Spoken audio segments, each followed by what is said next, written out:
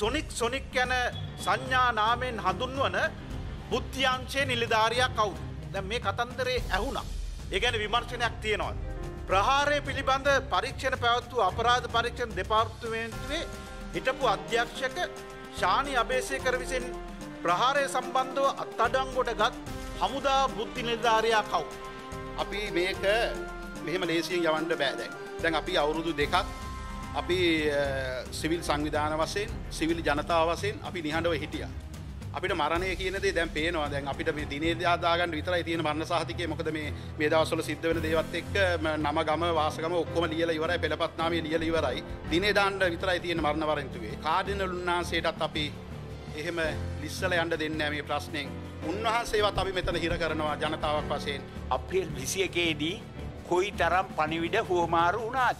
ගහනවා ගහනවා ගහනවා කිය අර කුමාරවේල්ගම කියෙන අපිත් දැනගෙන හිටිය අපේ ආරක්ෂක අපිටකුව අප්‍රේල් විසිය කියන්න එපාය කිය. එදා උදේ හැයි ගානකට ඉන්දියන් මහකොමසාරිස් කාර්යාලෙන් අසංක අබේ ගොනසේකරට දුරකතර පැන්නු තුනක්කාව කිව්වා අටයි කාල වෙද්දි ගහනවා කිය. ජනතාවට විශාල ආරක්ෂාව අනාරක්ෂිත භාවයක් තියෙන කියෙන කාරණය පිළිබඳව කියල තමා ගෝඩාබේ රාජපක්ෂ මේ බෝම්බේ ඇවිල්ල සතියක් ඇතුළට මාධ්‍යරවිලගේ මම තරඟ කරනවා ආරක්ෂාව දෙන්න මම සූදානන් කිය. අපි අහන්නේ ඒ ආරක්ෂාව දෙන්න ඔබ සූදානන්ද මේ මහමොලකරු හෙළි කරන්න නැතුව ඒ ආරක්ෂාව අපට ලැබෙන්න. The News Reporter.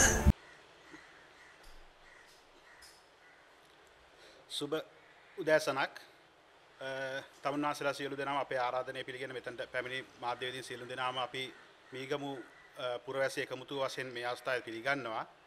මම ශ්‍රීකාන්ත සේනාරත්න අප්‍රේල් විසියකට යුක්තිය පදනමේ ලේකම් දූරය හොබෝනවා. අපි ඇත්තටම තමුන්නාන්සලා මෙතැන්ට කැඳෙව්වේ පසුගිය දෙදස් දහනමේ වර්සේ අප්‍රේල් විසියෙක්වෙන් දින අපේ පාස්කු ඉරු දින. කතෝලිකය වසයෙන් අපිට ඉතාමත් වැදගත්ම දවසත්තමයි පාස්කුරි දින කියන්න එක තමුන්නාන්සලා සියලු දෙනාම දන්නවා. ඉතින් මේ දවස තුළ අපිට කුරිරු ඒ එල්ල කරපු ප්‍රහාරය. ඇත්තර මේ ප්‍රහාරය අපිට එල්ල කරේ ගෙදෙට්ට ඇවිල්ල ගැහැව්ව අපිට. අපි පාස්කුවක් වසයෙන් අපි මහ සිකුරාද වෙනකං අපේ කතෝලික බැති බැතිමතුන් සියලුම දෙෙන එක්වරු සීරයේ රැකල අමත් දෙප ක්‍රියා කරලා ඒ සියල්ලකම ඉඳලා පාස්විරිද තමයි අපි මංගල්ලයක් වසයෙන් අපි පල්ලියට එකතු වෙන්නේ. ඒ පල්ලියට එකතු වෙච්ච වෙලාවේ අපිට මනුස්සෙක් වසයෙන් ආගමානුකූල ජීවත්වන මනුස්සෙක් වසයෙන් අපිට අවසාන වසයෙන් යන්න තියෙන තැන තමයි දේවස්ථානය. එහෙමත් නැත්තම් පන්සල කෝවිල. ඉති මේ වගේ තැනකට ඇවිල්ලා මේ වගේ කුරුරු ප්‍රහාරයක් එල්ල කරනවා කියන්නේ ඒක ඇවිල්ල අමානුසික ක්‍රියාවක්. ඉති මේ අපි හඳුන්නන මේ අපිට ගෙදෙට්ට ඇවිල්ල ගහල ගියා ගෙදෙට්ට ඇවිල්ල මරල ගියා කියන එක. ඉතින් අපේ බොහෝ දෙනෙක් හඳුන්නනවා මේ පල්ලියට ඇවිල්ලා බෝම්බ පත්තු කරාන මොකක්දේ ආගමේ තියෙන විශ්වාසය ඒ ආගමේ තියෙන ශක්තිය මොකක්ද කියන එක. ඇත්තටම මිත්‍රවරුණි අපි මේ අවස්ථාවදී දෙවියන් වහන්සේටවත් ආගමටවත් වෙනත් ශාස්තෘරයකටවත් කාටවත් බැනල දොස් කියල වැඩක් නෑ. මේ ක්‍රියාව පිළිබඳව අනු හය වතාවක් අනු හය වතාවක් දැනුවත් කරලා තිබ්බා. ඒ දැනුවත් කරලා තියෙන කොට තමයි මේගොල්ලන්ගේ තිබිච්ච මේ උද්දච්චකම් හින්ද මේ නායකයින්ගේ ඉති මේ දැනුවත් කරලා තියදී කවුද හිටපු සේනාධිනායකයා විදේශරට විදේශගත වෙලා. ඔහු සිංගප්පූරුවේ පවුල් පිටින් ගිහිල්ලා. ඉතින් අපි දන්න අසිපත කාගාව තිබ්බද කියලා කෝමරි වගකිය යුත්තෝ පැනල ගිහිල්ල තිබුණා මේ රටේ. ඉති ඒ හින්ද තමයි අපිට මේ දේ සිද්ධ වනේ නමුත් මේක ඇවිල්ලා ආගමක තියෙන දුර්වලකමක්වත් ඒ අපේ කතෝලික සභාව තියෙන දුර්වලකමක්වත් ඒ කිසිම දෙයක් නෙමේ. අපි ඒක තරේ මතක් කරන්න ඕන මේ අවස්ථාවේදී. අපි දන්න ඒ වගේ මේ සිදුවීම දැන් සිද්ධ වෙලා ඉවරයි.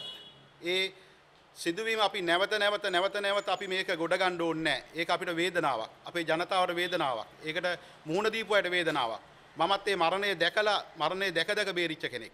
ඉතින් අපි ඉල්ලන්නේ කටුවිට ජනතාවක් වසයෙන් අපි මේ පාලකින්ගෙන් ඉල්ලන්නේ සානුකම්පිත අහිංසක ඉල්ලීම.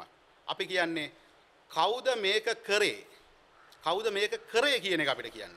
කතෝලිකව වසයෙන් අපි ඇවිල්ලා සමාව දෙන්ඩ කැමති පිරිසක්. අපි සමාව දානය කරනවා.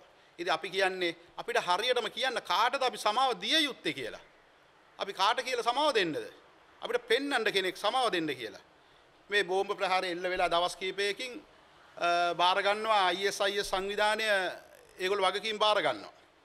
පසුකාලීනව මේ පැවති රජයන් විසින් කමිටු පත් කරනවා.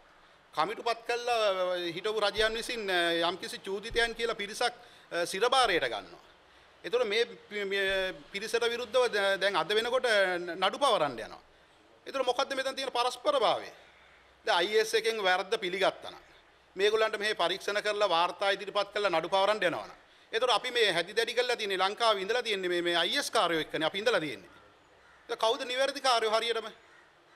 ඉතින් මේක ඇවිල්ලා ඇත්තටම අර පුදුමාකාර ප්‍රශ්නයකට මේ ගැට ගැහිලා තියෙන්නේ. ඉතින් හොඳම උදාහරණය තමයි තමුන්නාසලාට කියන්නේ මීට වසර කීපයකට පෙර පාර්ලිමේන්තුවේ හිටපු පාර්ලිමේන්තු මන්ත්‍රීවරයෙක් ඔහු ඇමතිවරයෙක් වශයෙන් විජේදාස රාජපක්ෂ මහතා. මේ IS ක්‍රියාකාරීත්වය ලංකාව තුළ තියෙනවා කියලා පුන පුනා පුන පුනා පුන පුනා කිව්වා. ඒවා හැන්සට් ගත වෙලා ඇති. ක්‍රියාකාරීත්වයේ කොතනද තියෙන්නේ? සමිති සමාගම් කීයක් තියෙනවද? කොහෙද රෙජිස්ටර් වෙලා තියෙන්නේ? කී දෙනෙක් පුහුණු වීම ලබනවද? ආයුධ පුහුණු වීම ලබනවද? මේ සියල්ලක්ම කියලා තියෙන කොටත් මේගොල්ලෝ කිසිම දෙයකට කනකට ගණන් ගත්තේ නැහැ. නමුත් ඒකේ වන්දිය ගෙවන්න උනේ අපේ මේ අසරණ ජනතාවට. ඒක අපිට තියෙන කනගාටුව. නමුත් මේ සිද්ධිය වෙලා ඉවර වෙලා තියෙනකොට දැන් අපි මේ පරීක්ෂණ පැවැත්තිලා යනකොට මේගොල්ලෝ මේ පරීක්ෂණ පිළිබඳව අපේ කිසිම පැහැදිලිතාවයක් නැහැ කටුපිටි ජනතාවක් වශයෙන්. අපි ඒකයි මේ කටුපිටි ජනතාව මෙතුවක් කල් නිහඬ වෙලා හිටියේ. දැන් අද වෙනකොට මොකද අපේ හිටපු නීතිපතිතුමා දප්පුඩද ලිවේරා මැතිතුමා ඔහු තම දූරේ ඉන්නකොට කිව්වා. ඉන්නකොට කිව්වේ. ඔහු විශ්‍රාමයන්ට ටික දවසකට දූරේ ඉන්නකොට කිව්වා මේක ඇවිල්ලා කුමන්ත්‍රණයක්. මේ කුමන්ත්‍රණය කාලයත් සමග එළිවෙයි. මේකට කිසිම විදේශ බලපෑමක් නැහැ. ඉතින් මේක ඇවිල්ලා සම්පූර්ණ කුමන්ත්‍රණයක් කියලා. ඒක එතනින් ඉවරයි. ඔහුගෙන් කිසිම ප්‍රශ්න කිරීමක්වත් කිසිම දෙයක් නැහැ. දැන් අද වෙනකොට පාර්ලිමේන්තු මන්ත්‍රී හරෙන් මන්ත්‍රීතුමා. ඔහු කියනවා ඔහුට සාක්ෂි සහිතව ඔප්පු කරන්න ඉදිරිපත් කරන්න සාක්ෂි තියෙනවා. ප්‍රසිද්ධ විවාදයකට එන්ඩයි කියලා මේ කතා කරනවා මේ යම්කිසි ඇමතිවරයට රජය පිළිගත්තු ඇමතිවරයට. නමුත් අපි කියන්නේ කටුව පිට ජනතාවක් වශයෙන් අපිට මේකේ සත්‍යය දැනගන්න ඕනේ. එහෙමනම් අපිට මේකේ අලගිය තැන් මුලගිය තැන් අපිට දැනගන්න ඕනේ.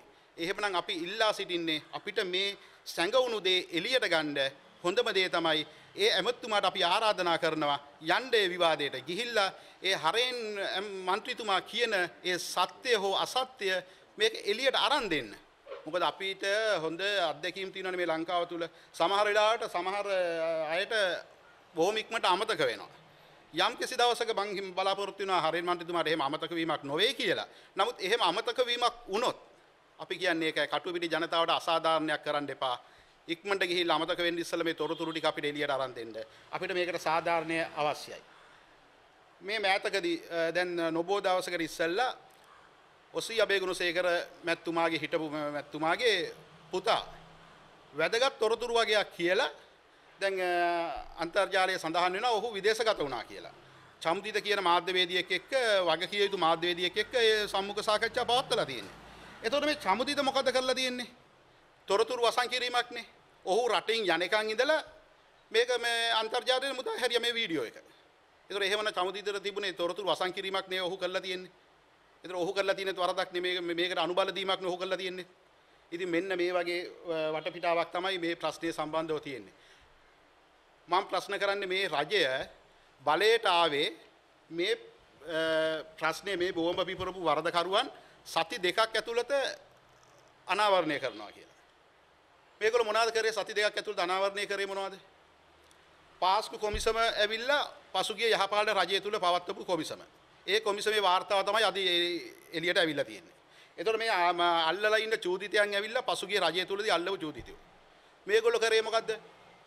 මම කරුණා කරලා ඉල්ලන්නේ අපේ කටුවපිටේ ජනතාවක් වශයෙන් තමුන්නාන්සලා තමුන්නාන්සලාගේ නඩු හබ ටික බලාගත්තා වගේම මේ කටුවපිටියේ කොච්චිකඩේ සහ මඩකලපුවේ සියොන් දේවස්ථානය ඇතුළුව මේ සිදු කරපු ප්‍රහාරේ මේ අවනඩුව ගැනත් විසඳන්න.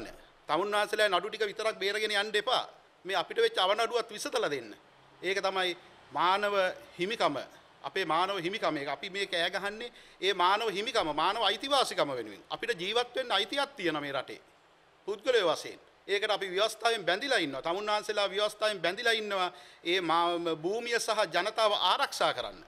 ඉතින් තමුන්නාන්සලාට ඒක කරගන්න බැයි නම් තමුන්නාන්සලා ෆේල් කියන එක අපි ආයේ ඕක අමුතුවෙන් කියන්න ඕන දෙයක් නෙමෙයි. මම විශේෂයෙන්ම මතක් කරන්න කැමතියි කතෝලික සභාවේ කතෝලික ඡන්දවලින් බහුතර බහුතර කතෝලික ඡන්දවලින් මේ පාර්ලිමේන්තුවට ගිහිල්ලා පහුගිය මැතිවරණ තුලදී අපේ මිනිස්සුන්ව වේදිකාවක් වේදිකාවක් ගානේ නැග්ගලා සිල්ලරේට අපේ ප්‍රශ්න විකුණලා අපේ මිනිස්සුන්ව අඬෝලා අපේ කඳුළු වලින් තමුන් වහන්සේලා බලය ලබා ගත්ත බලය ස්ථාවර කරගත්තා. දැන් තමුන් වහන්සේලාට සියල්ලක්ම තියෙනවා. බහුතර බලයක් තියෙනවා තුනෙන් දෙකක් තියෙනවා අගමැති තමුන් වහන්සේලාගේ ජනාධිපති තමුන් වහන්සේලා ආරක්ෂක ලේකම් තමුන් වහන්සේලා ඔක්කොම තමුන් වහන්සේලාගේ. ඉතින් මේ අපේ ඡන්දෙන් පත්වෙච්ච මේ අපේ කතෝලික මන්ත්‍රීවරුන්ට සහ ඇමතිවරුන්ට ලැජ්ජයි මහත්තයෝ ලැජ්ජයි ඔය නැසනල් එකක් ගහගෙන ටයිකෝඩ් දාගෙන පාර්ලිමේන්තුවේ ගිහිල්ලා අපේ සල්ලි වියදම් කරලා මෙච්චර කරලා මේ මිනිස්සුන්ට යුක්තියක් ඉෂ්ට කරන්න දෙන්න බැ- දෙන්න බැරි නම් මොකද්ද තමුන්නාන්සේලාගේ පාර්ලිමේන්තු ගමනේ තේරුම කොන්දක් තියෙනවා නම් පුළුවන් නම් එක ඇමති කෙනෙක් එක മന്ത്രി කෙනෙක් තමුන්නාන්සේලාට මෙතන වගකීමක් සහිතව වැඩ කරන්න බෑ කියලා ඉල්ලාස් වෙලා පෙන්වන්න එක්කෙනෙකුට ඉල්ලාස් වෙන්න බෑ වගකීමෙන් කියන්නේ එක්කෙනෙකුට ඉල්ලාස් වෙන්න බෑ මේ ප්‍රශ්නේ මත තමුන්නාන්සේලාට පාර්ලිමේන්තුව තුල මේකේ සාධාරණයක් ඉෂ්ට වෙන්නේ නැහැ. මේ රටේ සාධාරණයක් ඉෂ්ට වෙන්නේ නැහැ. එහෙමයි කියලා තමුන්නාන්සලා එක්කෙනෙකුටවත් ඉල්ලාස් වෙන්න බෑ. ඒක වගකීමෙන් කියනවා. පුළුවන් නම් ඉල්ලාස් වෙන්න. අපි ඒක අභියෝගයක් කරනවා කතෝලික ජනතාවක් වශයෙන් තමුන්නාන්සලාට අපි මේක මෙහෙම ලේසියෙන් යවන්න බෑ දැන්. දැන් අපි අවුරුදු දෙකක් අපි අ, සිවිල් සංවිධාන වශයෙන් සිවිල් ජනතාව වශයෙන් අපි නිහඬව හිටියා. අපිට මරණය කියන දේ දැන් පේනවා. දැන් අපිට මේ දිනේ දාගන්න විතරයි තියෙන මරණ සහතිකය. මොකද මේ මේ දවස්වල සිද්ධ වෙන දේවත් එක්ක ම- නම ගම වාසගම ඔක්කොම ලියලා ඉවරයි. පෙළපත් නාමයේ ලියලා ඉවරයි. දිනේ දාන්න විතරයි තියෙන මරණ වරෙන්තුවේ.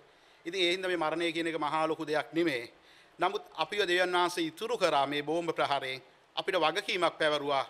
උන්වහන්සේ ඉෂ්ට කරන්න ජනතාවට මොකද මේක එහෙම නැත්නම් වැරදි පූර්වාදර්ශයක් වෙනවා අනාගතයේදී.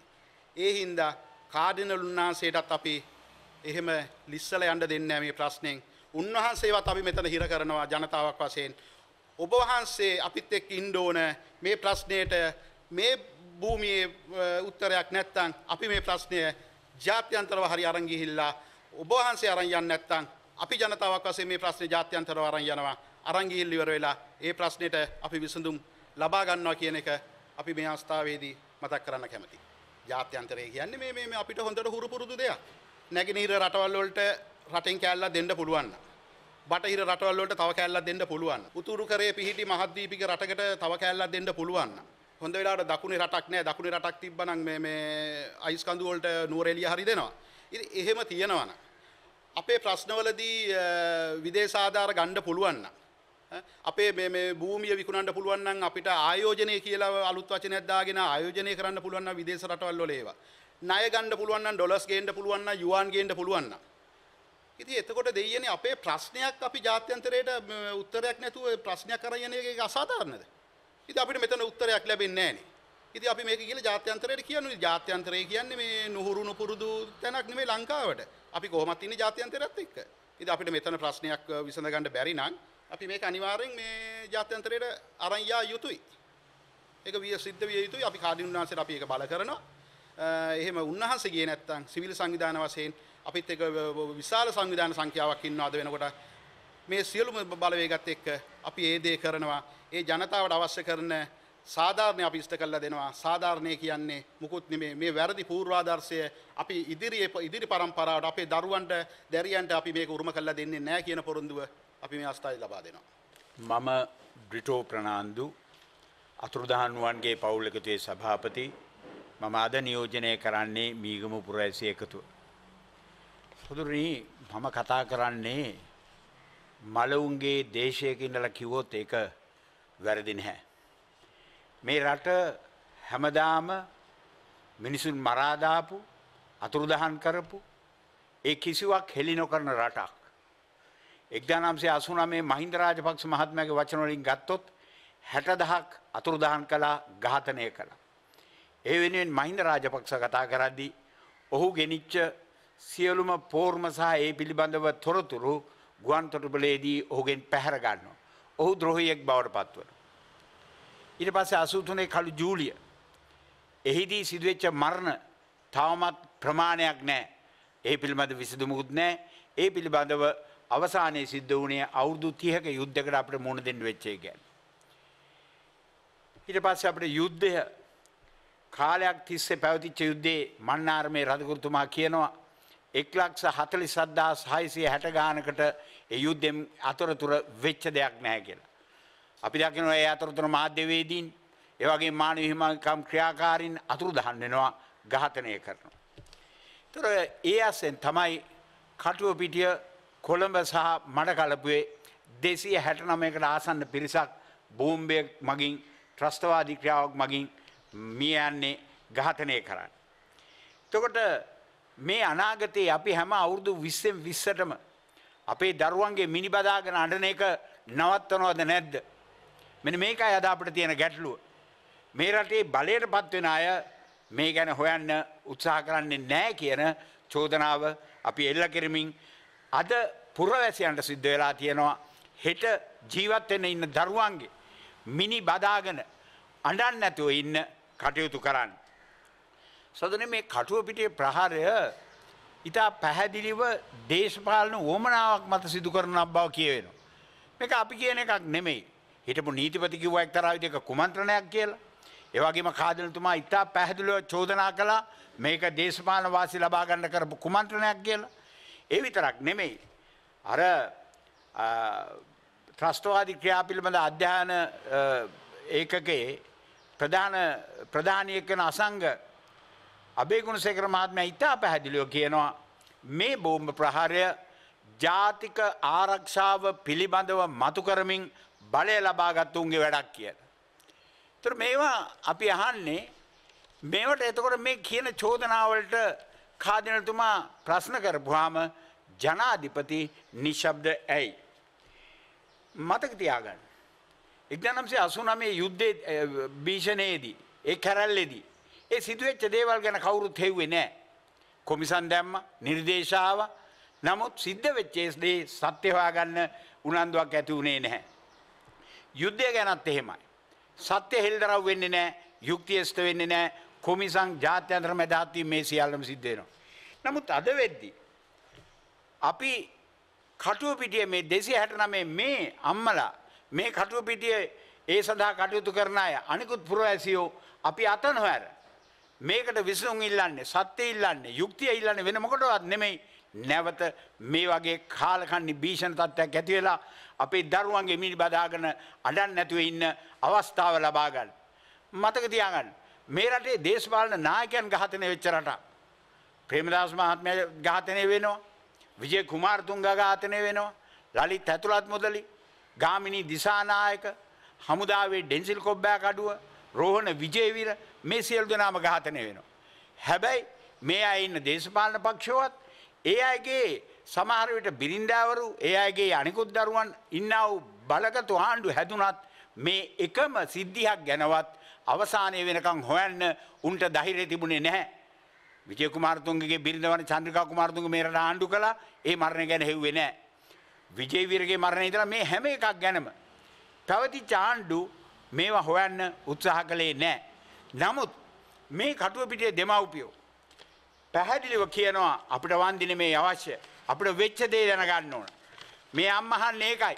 මගේ ඇගේ ඒ යකට බෝල ගණනාවක් ඇතුල් වෙලා මං අද අබලං වෙලා මම තවමත්තේ බෝල හයක් මගේ උරේ හැමතැනමයි තියාගෙන ජීවත්වෙන්නේ ඇයි එක කෙරුවේ කවුද කියලා දැනගන්න ඒ අම්මට අයිතියක් තියෙන. මේ රටේ එහෙම දිගින් දිගටම ප්‍රශ්න කෙරුවේ ඉතාමත් ස්වල්පය. ලසන්තා වික්‍රමතුන්ගේ මරණය ගැන ඔහුගේ දුව තවමත් ප්‍රශ්න කරනු. ඒවගේම සන්ධයා එක්නැලිකොට ප්‍රදීක් එක්නැලිකොට ගැන දිගින් දිගටම ප්‍රශ්න කරනු.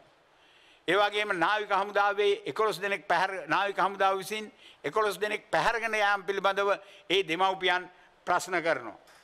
නමුත් ඒ නිසා ඒවලින් පන්නරය අරගෙන මේ මහවුන්ට බැරිවෙච්චදේ. මේ මහ දේශපාලන නායකව ගහතන එච්චා මේ කොහන්ට බැරිවෙච්චදේ මේ කටුව පිටිය ඇත් එක්ක අපි මෙතන්දී පොරොන්දු වෙනවා අවස්සානය දක්වා යුක්තිය සහ සත්‍යවා ගැනීම් දක්වා අතනොහැර කටයුතු කරන්න. ඒවගේම අපිට දැන් පැහැදිලිව විසි එක්වෙන්ද මේ සඳහා ගරුකාජනතුමා ප්‍රමුඛ ඒ කතෝලික සභාව කියනවා යුක්තිය දැන ගැනීම සඳහා ඒ විසි එක අගෝස්තු විසි එක කළු හර්තාලය හැටියට ආරම්භ වෙනවා කියලා. එය ශක්තිමත් කළ යුතුව තියෙන. එයා සාර්ථක කළ යුතුව තියෙනවා. සමහර විට කොවිඩ් නිසා අපිට බාධාවක් මතුවෙන්ට පුළුවන්.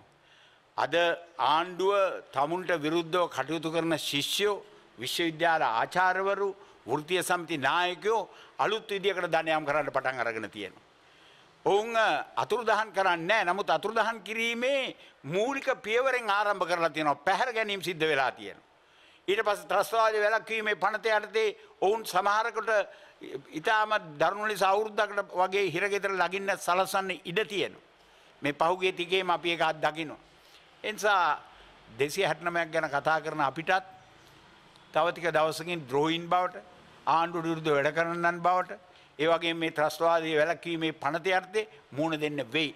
නමුත් බෝම්භයක් වැදිලා ඉතාමත් කූර විදිර ඝාතනය වෙනවට වැඩියේ හිරයන එක සැපයි කියලා ආණ්ඩුවට කියන්නන එන් ආණ්ඩුවට කියන්න ඕන කොවිඩ් අපට ජයකණ්ඩ පුළුවන් සමාරයට අමාරුවේ කොයිඩ් එක සෞඛ්‍ය ප්‍රශ්නයක් නිසා නමුත් ආණ්ඩුවෙන් එන අභියෝග අපි ජයගන්න එක ජයගන්නවා මයි මේ සත්‍යසා යුක්තය සේවීම සඳය. සභාව මේ මොහොතේ මේ දක්වන ආකල්පය ගැන අපි සතුට වෙනවා. නමුත් සභාවට චෝදනා ගණනාවක් තිබුණ. එක්ද නම්සේ අසු නමේ ශ්‍රීලාල් අමරතුන්ග ශ්‍රීලාල් පියතුමාගේ මරණය අභිරහසා. ඒවගේම බුත්තල මයිකල් රොද්රිගු පියතුමාගේ මරණය අභිරහසක් සභාව මේවා හෙව්වේ නෑ. යුද්ධයේදී කතෝලික පියවුරුන් ගණනාවක් ගාතනය වුණා අතුරුදහන් වුණා උතුරේදී. කතෝලික සභාව මෙවා ගැන හෙව්වේ නෑ. මම හිතනවා. එදා කටවහගෙන හිටපු එක නිසා තමයි. අද පල්ලිය තුළ ඒ දෙවියන්ට නමස්කාර කරන්න ආපුහම ඒ බෝම්බ වැදිලා දෙසිය හැට නමයක් කොළඹත් මඩ කලපුෙත් මිය යන්නේ. එදා මේ ශ්‍රීලාල් අමරතුංගලාගේ මයිකල් රොඩ්රිගු පේතුමාලගේ ජෝසප් පැට්‍රික් පේතුමාලගේ උතර මැරිච්ච හැම පේතුමාලගේ මරණ ගැන ඝාතන ගැන ප්‍රශ්න කලාන සභාව මේ පල්ලියේ මේ කටුව පිටියේ මිනිසුන්ගේ ඇඟවල්වල බෝල ඉතුරෙන්න ඉඩක් නැහැ. එනිසා අපි ඒ සභාවට චෝදනා කරමින් නමුත් අපි කියනවා සභාව මේ වෙලාවෙ ගන්න පියවර ගැන අපි ඉතාමත් සතුරට පත්වෙනවා. හැබැ අපි සැකයෙන් බලන්නත් ඉඩ තියෙනවා. පොද පහුගේ කාලේ යම් යම් දේවල්වලදි කරපු මැදහත්වීම් මගදී අතහැරපය ගැන අපි එක්තරා විදියකට සැකයෙන් බැලුවත් මේ වෙලාවෙ සභාව ඉතාමත්ම ධෛරවන්ත ලෙස මේ ගන්න ස්ථාවරය ආපස්සට අදින්න ඉඩ දෙන්නේ නැහැ. අපි කාදන ලිම්පානන්ගෙතේ සභාව දෑත් ශක්තිමත් කිරීමට අපේ උපරිම ශක්තිය යොදෝනවා කියලා අපි පොරොන්දු වෙනවා. අවසාන වශයෙන් මට කියන්න තියෙන්නේ. පිවිසි එක කළුකොඩි දමමින් ඒවගේම කඩවල් වහන්න අපි ඉල්ලමින් හැම කෙනාකට මේකට විරුද්ධෙන්න කියලා කරන ඉල්ලීම අපි බරපතල ලෙස මෙවා කරනවා. ඒවගේම මම යෝජනා කරනවා. යෝජනා කරන්න පෙර මට ප්‍රධාන දෙයක් කියන්න තියෙනවා. දැ මේක දේශපාලන වාසය ගත්ත කියන කාරණය තමයි ඉතා පැදිලිව කාදලතුමාගෙන් අසංග ඔබේගුණසේක සහ අනිකුත් අබේගුණසේක සහ අනිකුත් අයගෙන් මතුවෙන්. තර මේ දේශපාලන වාසය ගණඩ පුළුවන් අපි දන්න හතර දෙනයින් කවුද රනිල් වික්‍රමසිංහ මෛත්‍රපාල සිරිසේන ඒවගේම සජිත් ප්‍රේමදාස ජනාධපති ගෝතාබේ රාජපක්ෂ. ඒ අය තමයිගේ මතිවරණයට මේක පාවිච්චි කළේ. ඒකෙදී අනිත් තුන් දෙනාම. රනිල් වික්‍රමසිංහ මෛත්‍රපාල සිරිසේන සහ සජිත් සියලු දෙනාම මේක වලක්වා නොගැනීම ගැන පැහැදිලිව වග කිය යුතු. පැහැදිලිව වග කිය යුතු. ඒගැන අපට කියන් තියන් දේවල් ගොඩක් තියනවා. රනිල් වික්‍රමසිංහ මහත්මය අගමැති හැටියට ඒ ගැන නොදන ඉන්න හේතුවක් නෑ. මෛත්‍රපාල සිරිසේන සිංගප්පූරු ගිය ගමන ගැන.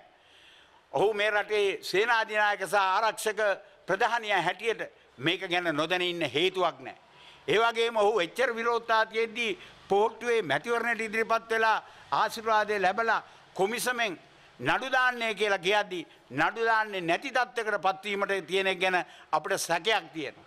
ඒවගේම පහුගේ මැතිවරණයේදී ජාතික ආරක්ෂාව ගැන වැඩියෙන් කතා කරලා. මේ රටේ ආරක්ෂාව හදන්ඩ යුද්ධ ඉවර කරපු මට පුළුවන්ය සති දෙකකින්.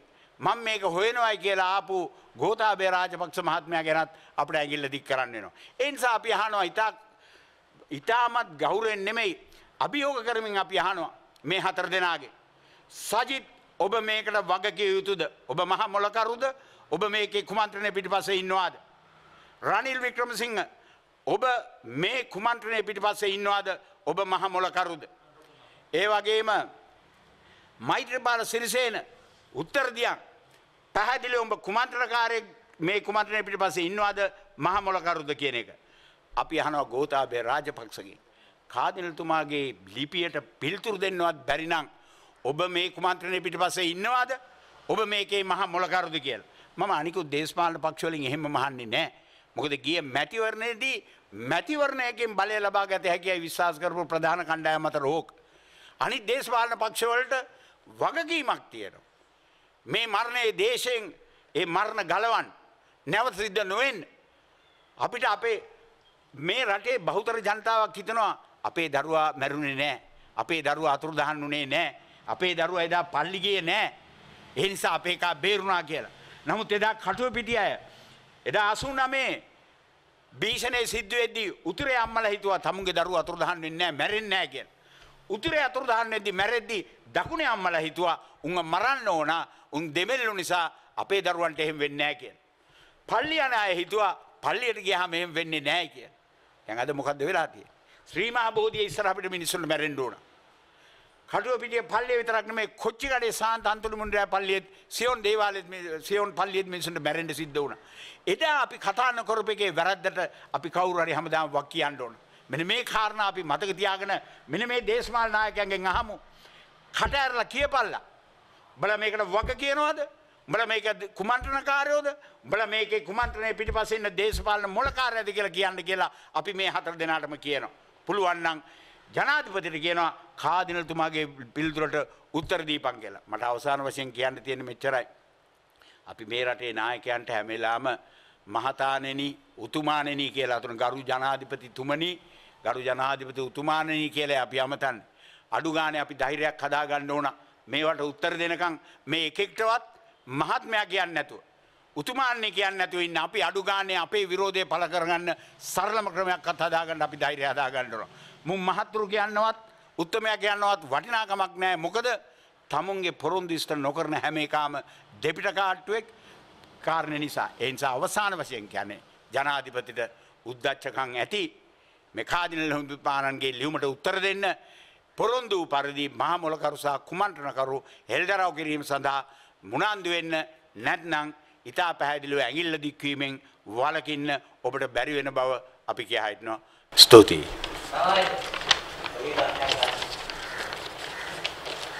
ඔබතුමා මේ සම්බන්ධ හතර විදිහට යෝජනා කළා. එකක් කලින් මහත්තයා. අනික මෛත්‍රීවල වාසේ ඉතු ජනාධිපති. ඒ දෙන්න අගමැති ජනාධිපති. ඉවත් ඊට පස්සේ එකේ ප්‍රවීණ ගානක් තියෙන්නේ කිව්වේ මේ ගොඩබේ රාජවක්මා. ජනාධිපති. ඒක නිසා පස්සියවිදෝ. මම කිව්වා සජිත්වත් වගකීමක් තියෙන මොකද සජිතුත් ගිය මැතිවරණයේදී තරඟ කළා. එතකොට එයාත් පහුගිය ආණ්ඩුවේ මේක පැහැරීමේ වගකීමේ කොටසක ඉන්නවා. සජිතුත් උත්තර දෙන්න ඕන. එයාත් දේශපාලන බලයක් ලබා ගැනීම සඳහා මේ කුමන්ත්‍රණය පාවිච්චි කළාද නැද්ද? ඒකයි මම අහන්නේ. එතකොට තව පස්ස දිනවා. ඔව් ඉතින් අපි දන්නවා මැතිවරණයකදී ජයගත හැකියයි විශ්වාස කරන පක්ෂ කීපයක් තියෙනවානේ. එහෙම ගත්තොත් මේ රටේ පක්ෂ 100 ගාණක් තියෙනවා ලියාපදිංචි. ඒ පක්ෂ 100 ගාණෙන් සමහරට 80ක් විතර තරඟ කරනවා. ස්වාධීන අපේක්ෂකයෝ ඉන්නවා කොලේ අඩි දෙකමාරක් දිගේනකම් තරඟ කරන්න පුළුවන් ස්වාධීන අපේක්ෂකයෝ හරිනම් මේ හැම එකාගේ මහන්න ඕන. නමුත් මම මේ මොහොතේ අහන්නේ බලය ලබාගත හැකියයි මහජනතාව විශ්වාස කරන. මෙන්න මේ ප්‍රධාන හතර දෙනාගෙන් මං අහන අතරතුරේ අනිකුත් දේශපාලන පක්ෂවලට අභියෝගයක් කරනවා උඹලගෙත් වගකීමක් තියෙනවා මේකේ සත්‍ය සහ යුක්තිය හෙළිදරව් කිරීමට උපරිම දායකත්වයෙන් කැපවෙන්න කියන එක. ඒ පැහැදිලි මම මගේ ජීවිතය විතර මෙතන ඉන්න හැමකාම අපිට පුළුවන් ඇටියට මේ රටේ අසාධාරණයක්ද එලියට ආව මිනිස්සු. අපි අතුරුදහන් වීමට විරුද්ධව මහින්ද රාජපක්ෂලත් එක දිගට වැඩ කරලා මහින්. මොන ප්‍රකාශය ගැන. ඔව්. හතර දෙනා ගැන කිව්ව ප්‍රකාශය උන්ව වගකීමේ ඔව් මේ මෙතන ඉන්න සියලු දෙනා මේ වගකීම දරන අපි විතරක් නෙමෙයි මේ වගකීම දරන්නේ. ඉතා පැහැදිලිව කාදිරතුමා කියනවා මේක දේශපාලන කුමන්ත්‍රණයක් කියලා. ඉතා පැහැදිලිව කියනවා. අසංග ඔබේ ගුණසේකර ඒ ර- මේ රටේ ත්‍රස්තවාදය පිළිබඳව අධ්‍යයන අ, සඳහා පා- මේ පිහිටවල තිබිච්ච ආයතනයේ ප්‍රධානියා කියනවා ජාතික ආරක්ෂාව පිළිබඳ කතා කරපු අය තමයි මේකේ වක්කිය යුතු කියලා. අපි ඒ මත බදනංගල ඒ විතරක් නෙමෙයි. මේ කොමිසමේ කියනවා. මේ අපි හොයාගත්තු දේවල් නෙමෙයි. අපි CID නෙමෙයි. අපි පොලිසිය නෙමෙයි. හොයාගත්තු දේවල් මත පදනංගලා අපි කියනවා හොයාගනිල්ලා. මේ තියෙන්නේ මේ මේ ඒ ඒ වෙලාවේ කියපු දේවල්. එනිසා මතක තියාගන්න. මේ අපි කිය අපිට තොරතුරු මේ හරියටම 100%ක් සත්‍යය කියලා කියන්න බැරි මේව ප්‍රධානින්ගේ මුකේ කොයිතරම් පාර්ලිමේන්තුවේදී කියවෙනවද? සැකසහිත දන් කොච්චර කියනවද? එහෙමනම් මේ සැකසහිත මිනිස්සු කියන්නේ විශේෂ ජනාධිපති කියන්න ඕන. ඔය සොනික් සොනික් කියන්නේ මම දන්නේ නැහැ කියලා කියන්න බැරිද? එහෙමනම් බුද්ධ බුද්ධ්‍යංශේ අර අත්තරංගොඩ ගත්තු කෙනාව ශානි අබේසේකර යුද්ධ හමුදාවේ අය ඇවිල්ලා අපේ වැඩක් කියලා මුදෝගෙන යනවා කියලා කාදිනතුමා පාර්ලිමේන්තුවේදී මතුවෙච්ච සහ කොමිසමේ තියෙන එක අහපුවාම ඇයි ඒකට උත්තර දෙන්න බැරි? ඇයි IS IS ආයතනයත් එක්ක වෙච්ච හුවමාරු වෙච්ච දුරකථන අංක පිටින් දීලා තියෙද්දි ඇයි ඒ ගැන කතා නොකරන්නේ? ඇයි අර අර හෝටලේ බෝම්බේ පුපුර ගන්න ගිය කෙනා කෝල් එකක් ආපුවම බෝම්බේ පුපුර නොගන්න මේවා අපි කියන දේවල් නෙමෙයි. මේ රටේ ඇස්පනා අපිට පාර්ලිමේන්තුවේදීත් කොමිසමේ මිලියන 650ක් වේදම් කරලා හදපු කොමිසමක තියෙන කාරණා ගැන කාදනතුමා අහන්නේ. කාදනතුමාට මේ ස්පිසාන්ත වහන්සේලා උඩින් ඇවිල්ලා කියපුවෝ නෙමෙයි. එයා කියන්නේ මේ කොමිසම් වල තියෙන ඒවා. ତර මේ ආණ්ඩුව පත් කරපු කොමිසම් 89 කොමිසමක් පත් වෙනවා 71 කොමිසමක් පත් වෙනවා යුද්ධයට කොමිසම් පත් වෙනවා. මේ ඔක්කොම යට යනවා. තර මං කිව්වා දේශපාලන නායකයෝ ඝාතනය වෙච්චාම ඒ පක්ෂවලට ඒ බිරින්දවරුන්ට ඒ පක්ෂවල අනිත් නායකයන්ට කොන්දපන් නැති වෙනවා හොයන්. කටුව පිටියේ උන්ට ධෛර්යයක් තියෙනවා නම් ඒ ධෛර්යය අපි අරන් යන්න. අපි ආණ්ඩුවට කියනවා අර කෙහෙල් ගහට කොටපු දාට කටුව පිටියට සහ මේ පල්ලියට ගහපු ගැහිල්ලට අපි මේක අතාරින්නේ. එච්චරයි අපි කියන්නේ. ඒක අනවශ්‍ය ප්‍රශ්නයක් විතරක් මේ සබ්ජෙක්ට් එකේ. කීර්තිරත්නායක ගැන ඊනිවුස් එකේ හ්ම්. කීර්තිරත්නායක සම්පූර්ණයක් වෙලා තියෙනවා ඒ සම්බන්ධයෙන් යම් කරන්න ඕන නම් මේමයි. කීති රත්නාගේ සිද්ධිය ගැන මම සම්පූර්ණයෙන් දන්නේ නැහැ. නමුත් ඔහුගේ ප්‍රකාශය අනුව ඉන්දියාවේ මෙහි තිබෙනව තානාපති කාර්යාලයට ප්‍රහාරයක් එල්ල වෙනවා යයි කියලා ඉන්දියාවෙන් ලැබිච්ච තොරතුරක් මත ඔහු යමක් කියලා තියෙනවා කියලා තමයි ඔහු කියන්නේ. ඒකට තමයි ආණ්ඩුව ගත්තා කියලා කියන්නේ. අපි මේ අප්‍රේල් 21 බලමුකෝ.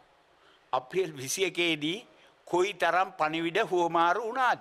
ගහනවා ගහනවා ගහනවා කියලා. අර කුමාරවේල්ගම කියනවා අපිත් දැනගෙන හිටියේ අපේ ආරක්ෂක අපිට කිව්වා අප්‍රේල් 21 යන්න එපායි කියලා. එදා උදේ 6යි ගානකට ඉන්දියන් මහ කොමසාරිස් කාර්යාලයෙන් අසංග අබේගුණසේකරට දුරකථන පැන්තුමක් ආවා කිව්වා 8යි කාලෙ වෙද්දි ගහනවා කියලා. තියෙන ඉතින් මේ රොත්ත බුරුත්තම ගන්න තියෙන ඉන්දියන් මහ කොමසාරිස් ගිහින් ඉඳලා. ඒකයි අපි කියන්නේ ඒ නිසා ආපු පණිවිඩ හොඳටම ඇති. ඉතින් සමහර විට මේ කීර්ති රත්නායක සහෝදරයා ඒ මහත්මයාට ලැබිච්ච පණිවිඩේ ඉතින් ඒ මහත්මයා කිව්වා. මොකද ඉතින් එහෙම කියලා නොකිය හිටපුවාම 269ක් මලා. කීර්ති රත්නායක උත්සාහ කළා දන්නේ නැහනේ. අඩු ගානේ මේ වතාවේවත් ඒ වගේ අපරාධ මරණ සිද්ධ වෙනක වළක්වා ගන්න. හැබැයි එකක් මතක තියාගන්න ආණ්ඩුව තමුන්ට විරුද්ධ වෙන මිනිස්සු දැන් හිරේ දාන්න පටන් අරන් තියෙනවා. අතුරුදහන් කිරීමේ පළවෙනි පියවර ආරම්භ වෙලා තියෙනවා. පැහැරගෙන යාම ආරම්භයි. රඳවා තබා ගැනීම දවස් දෙකකින් හොයා ගන්න පුළුවන්. අතුරුදහන් වීම කියන්නේ පැහැර ගැනීම හොයා ගන්නත් බෑ. රඳවා තබා ගන්න ස්ථානේ හොයා ගන්නත් බෑ. ඊට පස්සේ වෙච්ච දෙයක් හොයා ගන්න බෑ. ඒ தත්ත්වය දක්වා ගමන් කිරීමේ ඉඩ අපි වැඩක් වේ. කියන්නේ මේ හැම කෙනෙක්ම ඉල්ලන්නේ අපිට තියෙන අවධානය වළක්ව ගන්න මේ මහා මොලකරු හෙලි කරන්න කියන කාරණේ. එතකොට දැන් මේකේ අ, පාස්කු ප්‍රහාරය නිසාම මේකේ මූලිකත්වය ගන්නේ කතෝලිකයෝ. එතකොට රදගුරුතුමා තමා මේකේ අ, ප්‍රකාශක හැට ඉදිරියට එන්නේ නමුත් මේක කතෝලිකයින් බහුතරයක් ඉන්න අවස්ථාවක කටුපිටිය මීගමුව ආදි වශයෙන් මේක මතුවෙනකොට මේකට දෙන වර්ණයක් තියෙනවා. ඒ වර්ණය තමා මේක කතෝලිකෙන් විසින් කරන ක්‍රියාවලියක් කියලා. මම දැක්කා ඊයේ පෙරේදා මේ අ, එක ස්වාමීන් වහන්සේ නමක් මේ පුවත්පත් සාකච්ඡාවක කියනවා මේක මේ රජගුරුතුමා කොහෙද හිටියේ දළදා දළදා මාලිගාවට ගහනකොට රජගුරුතුමා කොහෙද හිටියේ සීමා බෝධියට ගහනකොට මේ උන්වහන්සේලා මේ ගැන කතා කරේ නෑ නේද කියලා. ඔව් අපි දන්නවා.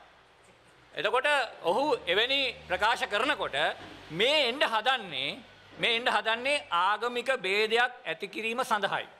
අපි මේක අවධාරණය කරනවා. මේක අපි ඉල්ලන්නේ කතෝලිකය වූ නිසා නෙමේ මේ රටේ පුරවැසු නිසා. මොකද මේ රටේ ජනතාවට විශාල ආරක්ෂාව අනාරක්ෂිත භාවයක් තියෙනවා කියන කාරණය පිළිබඳව කියලා තමා ගෝඨාභය රාජපක්ෂ මේ බෝම්බේ ඇවිල්ලා සතියක් ඇතුළත මාධ්‍යයට ඇවිල්ලා කිව්වේ මම තරඟ කරනවා ආරක්ෂාව දෙන්න මම සූදානම් කියලා. එතකොට එහෙමනම් අපි අහන්නේ ඒ ආරක්ෂාව දෙන්න ඔබ සූදානම්ද? මොකද මේ මහා මොලකරු හෙලි කරන්නේ නැතුව ඒ ආරක්ෂාව අපිට ලැබෙන්නේ නැහැ. ඒ නිසා මේක මේ කතෝලිකන්ගේ ප්‍රශ්නයක් නෙමේ කතෝලිකන්ට ලඝු කරන්න එපා මේ රටේ පුරවැසියන්ගේ ප්‍රශ්නයක්. ඒ නිසා මං සමස්ත පුරවැසියන්ට කියනවා මේ කාරණය සම්බන්ධයෙන් එවැනි කෝණයකින් බැලීම අපි හැමදෙනාම අනතුරු හෙලා හෙලා ගැනීමක්.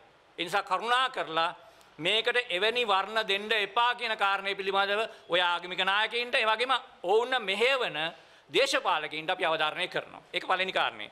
දෙවෙනි කාරණේ හැට මට කියන්න තියෙන කාරණේ මේකයි. මේක අද අපි අත්දකිනවා අ, දකුණේ විශාල වශයෙන්ම අපි අ, උද්ඝෝෂණවලට මිනිස්සු ඉදිරිපත්ලා ඉන්නවා උද්ඝෝෂණය කරනවා තමුන්ගේ අයිතිවාසිකම් වෙනුවෙන් විශේෂයෙන්ම ශිෂ්‍යයෝ අධ්‍යාපනය වෙනුවෙන් අධ්‍යාපනය මිලිටරිකරණයට එරෙහිව ඒ වගේම ගුරුවරු තමුන්ගේ අධ්- අ, අ, වෘත්තිය වෙනුවෙන් ඒ වගේම ජනතාව විශාල වශයෙන් තමුන්ගේ සම්පත් අහිමි කිරීම පිළිබඳව. දැන් මේ කාරණේදී ඒ ප්‍රශ්නවලට පිළිතුරු දීම වෙනුවට මේ රජයේ උද්දච්ච ක්‍රියාකාරීත්වය විශේෂයෙන්ම මේ පාස්කු ප්‍රහාරය පිළිබඳව රජගුරුතුමා අහන මේ ආධිනතුමා අහන ප්‍රශ්නේ වගේම ඒ ප්‍රශ්නවලටත් උත්තර දෙන්නේ ආකාරයෙන් අපිට පේනවා කොවිඩ් මර්ධනය සම්බන්ධයෙන් රජය ගන්නා පියවරයන් වලදී අ, වෛද්‍යවරු විශේෂඥ හැම කෙනෙක්ම මේ පිළිබඳ විශාල වශයෙන්ම කියනවා විශා- ඒ වගේම අ, WHO සංවිධානය විසින් කියනවා විශාල අ, මරණ සංඛ්‍යාවක් ඇති වෙන්න පුළුවන් මේ වෙලාවේ මේක පිළිබඳ දැඩි පියවර ගන්න කියලා. නමුත් ඒ කිසිම පියවරක් ගන්න නැතුව මේ කරන්න උත්සාහ ගන්නේ උද්දච්ච ක්‍රියාකාරීත්වයක්. ඒ නිසා තමයි අපි කියන්නේ මේ රජයේ මේ උද්දච්ච ක්‍රියාකාරීත්වයන් නිසාම රට විනාශයට යනවා. ඒ වළක්වා ගැනීම සඳහා පුරවැසන් හැටියට අපි මේ ක්‍රියාමාර්ගය ගන්නවා කියන කාරණය අවධාරණය කරනවා. ඒ නිසා අපිත් එක්ක අත්වැල් බැඳ ගන්න කියන කාරණය අපි කියනවා විශේෂයෙන්ම මීගමුවේ ඒ වගේම මේ ප්‍රදේශය විතරක් නෙමේ උතුරු නැගෙනහිර ඇතුළුව කතෝලික බෞද්ධ හින්දු මුස්ලිම් අනිකුත් සියලුම ආගමික අදහන් නැති කවුරුන් හෝ ඒ සියලු දෙනාම මේ කාර්ය වෙනුවෙන් අපිත් එක්ක අත්වැල් බැඳ ගන්න කියන කාරණය අපි අවධාරණය කරනවා. මොකද මේක ඔබත් මමත් ආ, හැම කෙනෙක්ම අනතුරේ හෙළන අවස්ථාවක් ඒ වෙනුවෙන් අපි එකට ක්‍රියාකාරී වුවේ නැත්තම් අපි හැමදෙනාම අනතුරේ. පහුගිය දවසේ අපට ඇහුණු කොළඹ අගරදුගුරු පදවියේ එන්ඩේරාණන් වන අතියුතුම් මැල්කම් කාඩිනල් රංජිත් හිමිපාණන්ගේ මාධ්‍ය ප්‍රකාශනය. ද මේ ප්‍රකාශනය නිකුත් වෙන්නේ යම්කිසි ක්‍රියාදාමයකට පිළිතුරක් හැටිය. මොකක්දේ ඔවුන් ජූලි මාසේ ප්‍රකාශන කමිටුව විසින් ලියවිල්ලක් ඉදිරිපත් කළා ජනාධිපතිතුමාට එක එක ලියල තියෙන ජනාධිපතිතුමාට ජනාධිපතිතුමනී කියලා එය ආමන්ත්‍රණය කරන්න. කියලා ඉල්ලනවා පාස්කු ප්‍රහාරය සම්බන්ධයෙන් තියෙන්නාව විමර්ශන කටයුතු හරි දිශාවකට රැගෙන යන්ඩ කිය. එහෙම කියලා ඔවුන් කරුණු කාරණා ගණනාව ඉදිරිපත් කරනවා ඒ ඔස්සේ තවම අපිට පිළිතුරු ලැබිල නෑ කියලා. එම නිසා ඔවුන් ඉල්ලා සිටිනවා මාසයක් ඇතුළත මේ කරුණු ඔස්සේ විමර්ශනය කරලා දැනුවත් කරන්න කියලා කොයි වගේ පිළිතුරුද තියෙන්නේ කියලා. මේ මේ කරුණු ඔස්සේ අපි කතා කරද්දි අපිට මතක් කරන්න කැමති ඉදිරිපත් වුණු කරුණු කීපයක්. එයින් කියවෙනවා සොනික් සොනික් යන සංඥා නාමෙන් හඳුන්වන බුද්ධ්‍යංශයේ නිලධාරයා කවුද. දැන් මේ කතන්දරේ ඇහුණා. ඒ ගැන විමර්ශනයක් තියෙනවද. ප්‍රහාරය පිළිබඳ පරීක්ෂණ පැවත්වූ අපරාධ පරීක්ෂණ දෙපාර්තමේන්තුවේ හිටපු අධ්‍යක්ෂක ශානි අබේසේකර විසින් ප්‍රහාරය සම්බන්ධව අත්තඩංගොට ගත් හමුදා බුද්ධි නිලධාරයා කවුද. මම එකින් එක කියන්න යන්න නමුත් ඒ කරුණු ගණනාවක් ඒ ප්‍රකාශන කමිටුව ඉදිරිපත් කළා උත්තර හොයලා දෙන්න කියල. ඒ ඔස්සේ පරීක්ෂණ පවත්වන්න කියලා විමර්ශන කටයුතු කරන්න කියල. නමුත් බලාගෙන හිටිය උත්තරයක් ආවේ නෑ. නමුත් අගෝස්තු මාසේ දහවැනිද ඔවුන්ට උත්තරයක් ලැබෙනවා. හැබැයි උත්තරේ ලැබෙන්නේ අත්සං කරලා තියෙන්නේ ශ්‍රේෂ්ඨාධිකරන නීතිඥ හරිගුප්ත රෝහණදීර කියන නීතිඥා විසින්. ඔහු අධ්‍යක්ෂක ජෙනරාල් ජනාධිපති ලේකම් වෙනුවට කිය.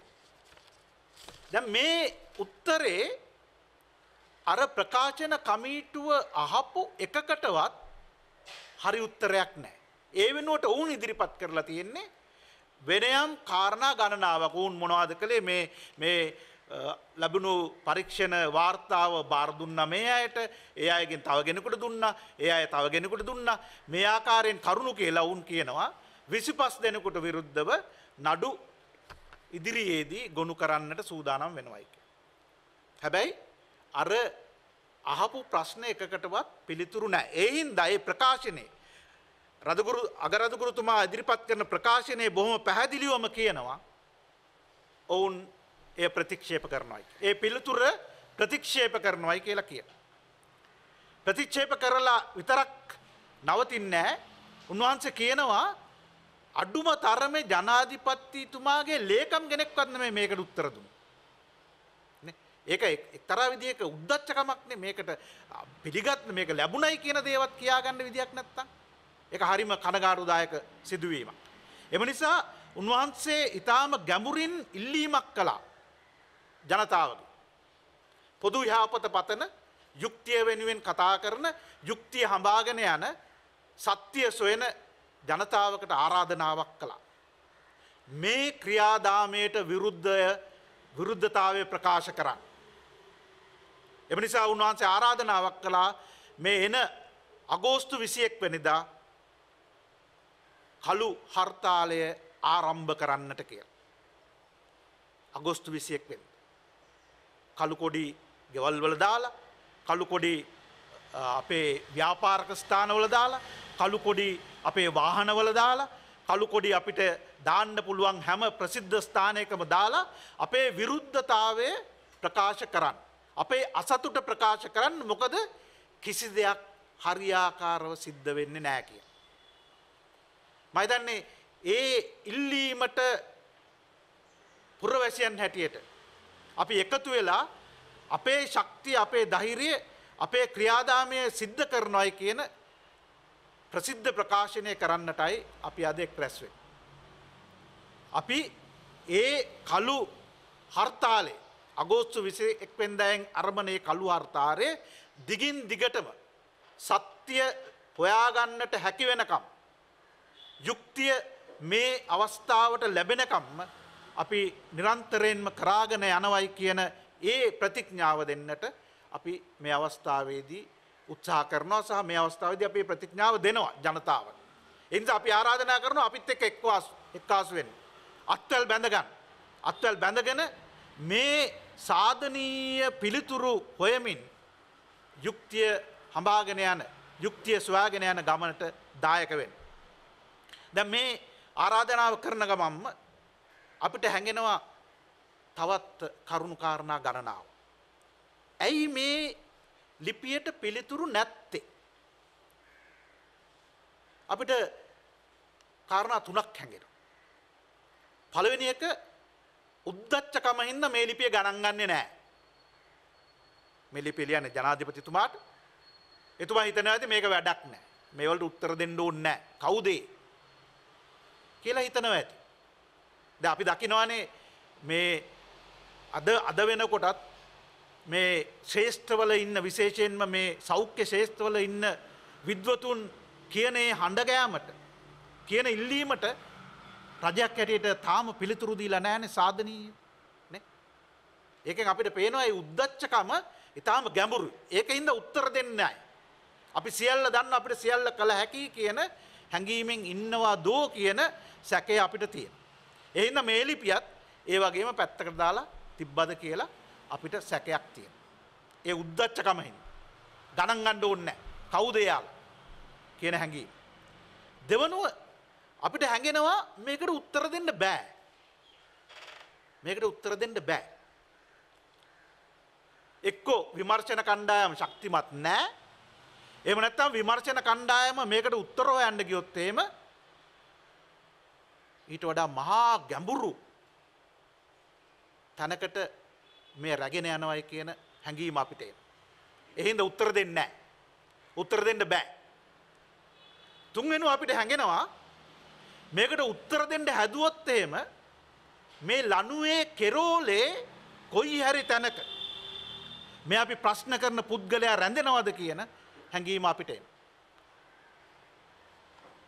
මයිදන්නේ මේ තමයි අපි පුරවැසියන් හැටියට මේ මේ සිදුවෙන ක්‍රියාදාමය ගැන බලාගෙන ඉන්නකොට අපිට හැඟෙන දේ. එහින්ද තමයි මේවලට උත්තර නැත්තේ. එම නිසා අපි පුරවැසියන් හැටියට මේ අවස්ථාවේදී ඒ අගරදුගුරුතුමා ඉල්ලන ඒ ඉල්ලීමට අපේ ප්‍රතිචාරය දක්වමින් අපි ඒ අනිවාර්යෙන්ම සාර්ථකත්වය කරා රැගෙන යන්නට අපේ දහිරේ ශක්තිය සහ අපේ අපේ සෑම අපි අත්වල් බැඳගෙන පුරවැසියන් හැටියට දායක වෙනවයි කියන පොරොන්දුව දෙමින් අපි නැවතත් කියාපාන කියාපාන්න කැමති කරුණා කර ඒ ප්‍රශ්නවලට සාධනීය පිළිතුරු දෙන්නට උත්සා කරන්න. සාධනීය පිළිතුරු දෙන්න මොකද ඒ තමයි අපිට සත්‍යය හොයාගෙන යන්නට පුළුවන් එකම මාර්ගය. ඒ තමයි අපිට මේ ජනතාවට ලබා දෙන්නට පුළුවන් යුක්තිය හඬගා කියන්නට පුළුවන් වෙන අවස්ථාව. එම නිසා කරුණා කර සත්‍යය හංගන්නට යන්න එපා. සත්‍යය කවදක්වත් හංගන්න හම්වෙන්නේ. එය එලී වෙනවා අනිවාර්යෙන්. එම නිසා අපේ කරුණාව නිල්ලා සිටවා. මේ ප්‍රශ්නවලට සාධනීය පිළිතුරු දෙන්න. ඒ විතරක් නෙමේ දැන් නොයෙක් ආකාරයේ ප්‍රශ්න මේ සම්බන්ධයෙන් පැන නගින. අන්තර්ජාලය ඔස්සේ අපි දකිනවා. නැත්නම් සමාජ මාධ්‍ය ඔස්සේ අපි දකිනවා මේ කරුණු කාරණා ගණනාවක් හැම පැත්තෙන්ම එළියට එනවා. එහෙම එළියට දාපු අයව ප්‍රශ්න කරන්නට අරගනත් කියලා අපිට දැන් ආරංචි වෙනවා. දැන් මේක නවතින්නේ නැහැ. මේ ගිනි දැල්ල දැන් ඇවිලිලා ඉවරයි. එම නිසා රජයක් හැටියට ඔවුන්ට මේක පැත්තකට දාලා ඉන්නට බෑ. එම නිසා අපි කියනවා සත්‍ය කවදා හෝ ජය ගන්නවා. එම නිසා සත්‍ය යටපත් කරන්නට හදන්නට එපා.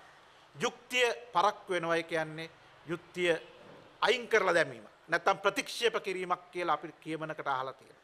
එම නිසා අපි එක කණ්ඩායමක් හැටියට පුරවැසියන් හැටියට මේ අවස්ථාවේදී හඬගා කියන්නේ අගෝස්තු විසියෙක් වෙන්දායෙන් ඇරබෙන ඒ කලු හර්තාලය අවසානය දක්වාම අපිට සාධනීය පිළිතුරු ලැබෙනකම් මේ පිටිපස්ස හිටපු මහමොලකරු ඇතුළේ කණ්ඩායම හඳුනා ගන්නකම් සහ ඔවුන් වෙනුවෙන් විය යුතු ඒ ක්‍රියාදාමය සිදුවෙනකම් සහ ඒ විින්දිතයන් සියලු දෙනා වෙනුවෙන් යුක්තිය ඉටු වෙනකම්ම අපි ඔවුන් සමඟ සිටිනවයි කියන එක. ඒට අපි අත්වල් බැඳගම් ඒට අපි ශක්තිමත්වමු ඔබ සියලු දෙනාට මේ සඳා අපි ආරාධනා කරනවා ස්තුතියි. The News Reporter වාරණයෙන් තොර අපක්ෂපාති වාර්තාකරණය